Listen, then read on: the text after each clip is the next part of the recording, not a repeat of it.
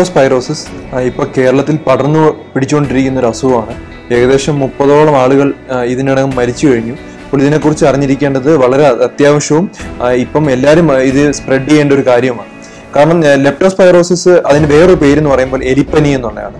അല്ലെങ്കിൽ അതിന് വേറെ പേര് Weil's disease W E I L Weil's disease എന്നുള്ള വേറൊരു പേരുണ്ട്. ഇത് സ്പ്രെഡ് ചെയ്യുന്നത് ഒരു ബാക്ടീരിയ ആണ് ഇത് ഈ ലെപ്റ്റോസ്പൈറോസിസ്. ലെപ്റ്റോസ്പൈറോസിസ് ഇൻട്രോഗൻസ് എന്നൊരു ഓർഗാനിസമാണ് ലെപ്റ്റോസ്പൈറോസ് ഉണ്ടാകുന്നത്. ഇത് ഇതിന്റെ പ്രശ്നം സാധാരണ രീതിയിലുള്ള പനിയായിട്ടാണ് തുടക്കമെങ്കിലും കരൽ ഹൃദയം വൃക്ക തുടങ്ങിയ മെയിൻ ഓർഗൻസ് അഫക്റ്റ് ചെയ്യുകയും രോഗി പിന്നെ മരിക്കാനുള്ള മരണം വരെ ഉണ്ടാവാനുള്ള ഒരു കാരണം ഉണ്ടാകുന്ന ഒരു അസുഖമാണ് ലെപ്റ്റോസ്പൈറോസിസ് അപ്പൊ ലെപ്റ്റോസ്പൈറോസിസ് ഈ പേര് എലിപ്പനി വന്നതിന്റെ കാരണം തന്നെ നമ്മൾ ഈ റോഡൻസ് എലി അല്ലെങ്കിൽ അതുപോലുള്ള ജീവികൾ കാരണം അവരുടെ മൂത്രത്തിൽ നിന്നാണ് എലിപ്പനി പകരുന്നത്. അതുകൊണ്ടാണ് എലിപ്പനിക്ക് അങ്ങനെ ഒരു പേര് വരാനുള്ള കാരണം പക്ഷെ എലി മാത്രമല്ല ഈ പിന്നെ കൗസ് പിന്നെ കാറ്റ് പിന്നെ ഡോഗ് അങ്ങനെയുള്ള ഏത് പിന്നെ മൃഗങ്ങളുടെയും വഴി ഇത് പകരാം. ഇതിന്റെ ഒരു വേറെ പ്രത്യേകത എന്ന് പറഞ്ഞു കഴിഞ്ഞാൽ ഒരിക്കൽ എലിക്ക് ഇത് ഈ അസുഖം പിടിപെട്ട് കഴിഞ്ഞാൽ ജീവിതകാലം മുഴുവൻ ആ എലിമൂത്രത്തിൽ കാണും. ഇപ്പൊ എലിക്ക് ഈ അസുഖം വന്നാൽ പോലും ഇപ്പൊ വരുന്ന യൂറിനിലും ഈ ലെപ്റ്റോസ്പൈറോ എന്ന ബാക്ടീരിയ അതിന്റെ യൂറിൻ ഉള്ളത് കൊണ്ട് സ്പ്രെഡ് ചെയ്യാനുള്ള ഇതുപോലുള്ള ഈ ഫ്ലഡ് കഴിഞ്ഞിട്ടുള്ള സമയങ്ങളിലോ അല്ലെങ്കിൽ ഈ അഴുക്ക് വെള്ളം കയറി ഇറങ്ങിയുള്ള സന്ദർഭങ്ങളിൽ ഇതുപോലുള്ള അസുഖങ്ങൾ പടർന്നു പിടിക്കാനുള്ള ചാൻസ് കൂടുതലാണ്. ഇനി ഇതിനെ സ്പ്രെഡ് ഇതെങ്ങനെയൊക്കെയാണ് നമുക്ക് മനുഷ്യർക്ക് കിട്ടുന്നത്? ഏകദേശം ഇതിന്റെ ഇൻക്യുബേഷൻ പീരീഡ് എന്ന് പറയുന്നത് നാല് മുതൽ ഇരുപത് ദിവസമാണ്. അതായത് നമുക്ക് നമ്മുടെ കാലിലോ മുറി എന്തെങ്കിലും മുറിവിലോ വല്ലതും ഈ വെള്ളം തട്ടിക്കഴിഞ്ഞ് കഴിഞ്ഞാൽ നാല് മുതൽ ഇരുപത് ദിവസത്തിനകത്ത് നമുക്ക് ഈ അസുഖം വരാനുള്ള ചാൻസ് ഉണ്ട്. ഇനി ഇതിന്റെ എങ്ങനെയൊക്കെ നമുക്ക് വരാന്നുള്ളത് ഡയറക്ട് സ്പ്രെഡ് ഉണ്ട് ഇൻഡയറക്ട് സ്പ്രെഡ് ഉണ്ട്. ഡയറക്ട് സ്പ്രെഡ് എന്ന് പറയുമ്പോൾ ഈ എന്തെങ്കിലും നമ്മുടെ കാലിലെ മുറിവോ എന്തെങ്കിലും കാരണം അതിനകത്ത് ഡയറക്റ്റ് ആയിട്ട് കോണ്ടാക്ട് വരുന്നു. ഈ എലിമൂത്രം അല്ലെങ്കിൽ അഴുക്ക് വെള്ളം ഈ എലിമൂത്രം കലർന്ന ഈ ബാക്ടീരിയ ഉള്ള വെള്ളം കലർന്നു വരികയാണെങ്കിൽ അത് നമ്മുടെ കാലിലും വല്ലതും മുറിവുള്ള സ്ഥലത്ത് തട്ടുകയാണെങ്കിൽ ഡയറക്റ്റ് കോണ്ടാക്ട് വഴി വരാം. അല്ലെങ്കിൽ നമ്മൾ അറിയാതെ ഈ വെള്ളത്തിലൊക്കെ നീന്തുന്ന സമയത്തോ അല്ലെങ്കിൽ വെള്ളത്തിൽ വീഴുന്ന സമയത്തോ ഈ വായിലൂടെയോ അല്ലെങ്കിൽ കണ്ണിലൊക്കെ ഈ വെള്ളം കയറുകയാണെങ്കിലും മ്യൂക്കോസ വഴിയും നമുക്ക് ഈ അസുഖം കിട്ടും. അതാണ് ഡയറക്റ്റ് കോണ്ടാക്ട് ഇനി ഇൻഡയറക്റ്റ് കോണ്ടാക്ട് എന്ന് പറഞ്ഞു കഴിഞ്ഞാൽ ഈ എലിമൂത്രത്തിലോ അല്ലെങ്കിൽ എലിയുടെ ഈ വിസർജ്യത്തിൽ ഈ നമ്മുടെ ജീവികൾ ഈച്ച പോലുള്ള ജീവികൾ പോയി ഇരുന്ന് അത് ആഹാര സാധനങ്ങളിൽ വന്നിരുന്നാലും ആ രീതിയിലും ഇൻഡയറക്റ്റ് ആയ രീതിയിലും നമുക്ക് കോണ്ടാക്ട് വരും. വെള്ളത്തിൽ നിങ്ങൾ ടച്ച് ചെയ്തിട്ടേ ഇല്ലായിരിക്കും. അല്ലെങ്കിൽ വെള്ളത്തിൽ നിങ്ങൾ ഒരു വിധത്തിലും കോണ്ടാക്ട് ഒന്നും ചെയ്ത് കാണത്തില്ല. പക്ഷെ എന്നാലും നിങ്ങൾക്ക് അസുഖം എങ്ങനെ കിട്ടാന്ന് പറയുമ്പോൾ ഇതുപോലുള്ള ഈച്ച മുതൽ വൃത്തിയുള്ള ആഹാരം കഴിച്ചില്ലെങ്കിൽ അല്ലെങ്കിൽ തിളപ്പിച്ചാറിയ വെള്ളം കഴിച്ചില്ലെങ്കിലൊക്കെ പിന്നെ ലെപ്റ്റോസ് വൈറസ് ഉണ്ടാകാനുള്ള ചാൻസ് ഉണ്ട്. ഇനി ഇതിന്റെ ലക്ഷണങ്ങൾ.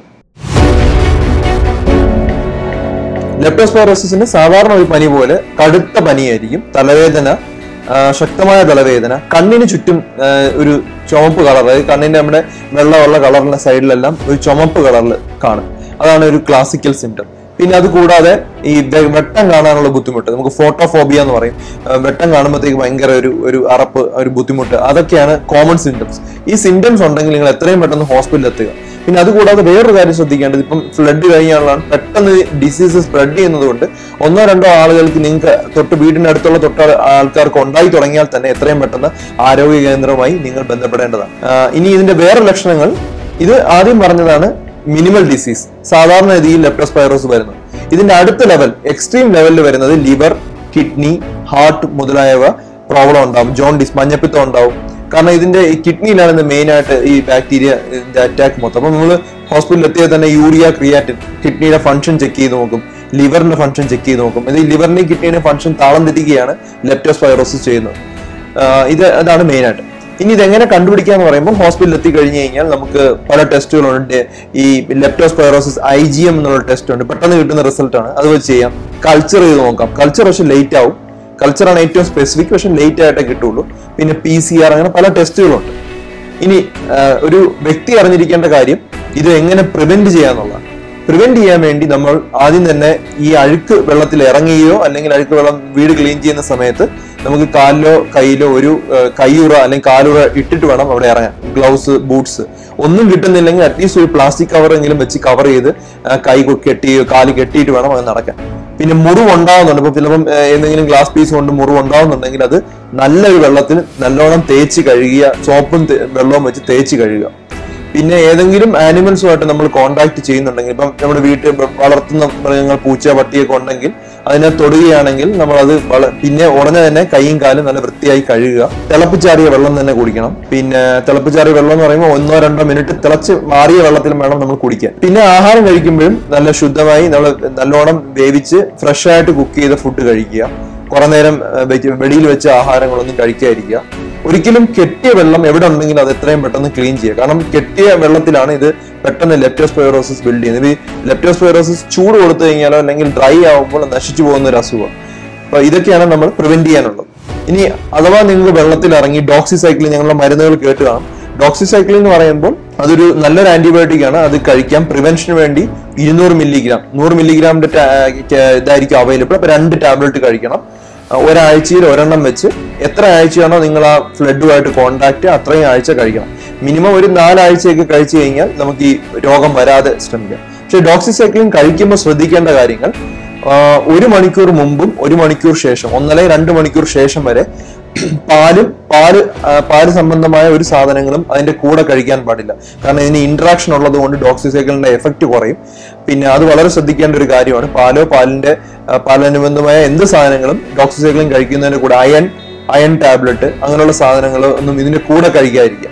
പക്ഷെ ഡോക്സിസൈക്കിളും ചെറിയ ഗ്യാസ്ട്രിക് സൈഡ് എഫക്റ്റ് ഉള്ളതുകൊണ്ട് സാധാരണ ഒരു ആഹാരം എന്തെങ്കിലും കൂടെ കഴിക്കുക. അപ്പൊ ചോറൊക്കെ കഴിക്കുന്നതിന് കൂടെ നിങ്ങൾക്ക് ഡോക്സിസൈക്കിളും കഴിക്കാം. പക്ഷെ ഈ പാൽ സാധനങ്ങളുടെ കൂടെ കഴിക്കാതിരിക്കാൻ ശ്രമിക്കുക. പിന്നെ ഡോക്സിസൈക്ലിൻ കുട്ടികൾ എട്ട് വയസ്സിന്റെ താഴെയുള്ള കുട്ടികൾക്ക് കൊടുക്കാതിരിക്കുക. പിന്നെ പ്രഗ്നന്റ് ആൻഡ് ലാക്ടേറ്റിംഗ് വുമണ്ണും കൊടുക്കരുത്. കാരണം ഇത് രണ്ടും ആ, ഇത്ര സേഫ് ആയിട്ട് റെക്കമെൻഡഡ് അല്ല. അപ്പൊ അതുകൊണ്ട് അവർക്ക് ഉപയോഗിക്കാൻ പറ്റുന്നത് റിസർച്ച് ചെയ്തുകൊണ്ടിരിക്കുന്നതാണ് പക്ഷെ അസിത്രോമൈസിൻ എന്നുള്ള മരുന്ന് അവൈലബിൾ ആണ്. Azithromycin ten M G per K G ആണ് കുട്ടികൾക്കാണെങ്കിൽ ഒരു നേരം കഴിച്ചാൽ മതി. ഫൈവ് ഹൺഡ്രഡ് എം ജി ആണ് അഡൽട്ട് ഡോസ് അത് ഒരെണ്ണം കഴിച്ചാൽ മതി. ഇത് പലയിടത്തും ടെസ്റ്റ് ചെയ്തപ്പോൾ വളരെ എഫക്റ്റീവ് ആയിട്ട് ഡോക്സിസൈക്കിളിന് പകരക്കാരൻ എന്നുള്ള രീതിയിലാണ് അസിത്രോമൈസിൻ യൂസ് ചെയ്തുകൊണ്ട് വരുന്നത്. അതും അസിത്രോമൈസിൻ ഒരു ടാബ്ലറ്റ് കഴിച്ചാലും ഡോക്സിസൈക്കിളിന് പകരം നമുക്ക് കഴിക്കാൻ പറ്റുന്ന ഒരു ടാബ്ലറ്റ് ആണ് azithromycin. A Z I T H R O M Y C I N azithromycin പിന്നെ ഇത് ലെപ്റ്റോസ്പൈറോസിന് വാക്സിൻ അവൈലബിൾ ആണ്. പക്ഷെ പ്രശ്നം എന്ന് പറഞ്ഞാൽ ഇതിൽ പല സീറോ ടൈപ്സ് ഉണ്ട്. ഓരോ സമയത്തും വരുന്ന ഡിസീസ് പല രീതിയിലായതുകൊണ്ട് പല ഓരോ ഒരു ആറ് മാസത്തേക്ക് മാത്രമേ ഈ വാക്സിൻ എഫക്റ്റീവ് ആവുള്ളൂ. അതുകൊണ്ട് വാക്സിൻ അത്ര റെക്കമെൻഡ് അല്ല. ഇങ്ങനെയൊക്കെയാണ് നമ്മൾ ലെപ്റ്റോസ്പൈറോസിസിനെ കുറിച്ച് ശ്രദ്ധിക്കേണ്ട കാര്യങ്ങളും. അഥവാ ലെപ്റ്റോസ്പൈറോസിസ് നിങ്ങളുടെ അടുത്തൊരു പടർന്ന് പിടിക്കുകയാണെങ്കിൽ എത്രയും പെട്ടെന്ന് ഈ മരുന്ന് കഴിക്കുകയും ലെപ്റ്റോസ്പൈറോസിസ് പ്രിവെന്റ് ചെയ്യുകയും ചെയ്യുക